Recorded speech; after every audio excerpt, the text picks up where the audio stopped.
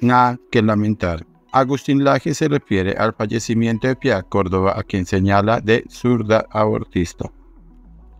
El analista político argentino Agustín Laje se refirió a la muerte de la senadora Piedad Córdoba, quien falleció este sábado 20 de enero, producto de un infarto, quien se hizo célebre por su estrecha amistad con el presidente venezolano Hugo Chávez y por su aparente cercanía con la guerrilla de las FARC y su polémico papel en la liberación de los mismos.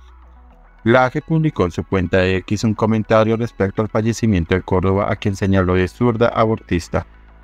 Murió la senadora colombiana Pia Córdoba, zurda abortista promotora de la ideología de género. Nada que lamentar, dijo Laje en la red social.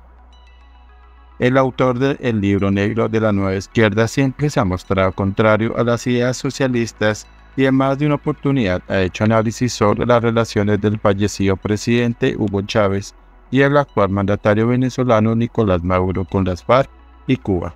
De Córdoba, una llamativa figura que vestía en vivos colores y cubría su cabeza con turbantes, nunca se dejó de hablar en Colombia en los últimos 20 años.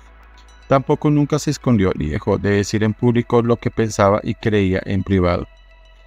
La larga y convulsionada carrera política de Piedad Córdoba, que inclusive contempló ser presidente de Colombia, estuvo en manos de los jueces, la Corte Suprema de Justicia tenía su causa bajo la lupa y en cuestión de semanas podría ser llamada a responder por su polémico papel en la liberación de los secuestrados de las FARC.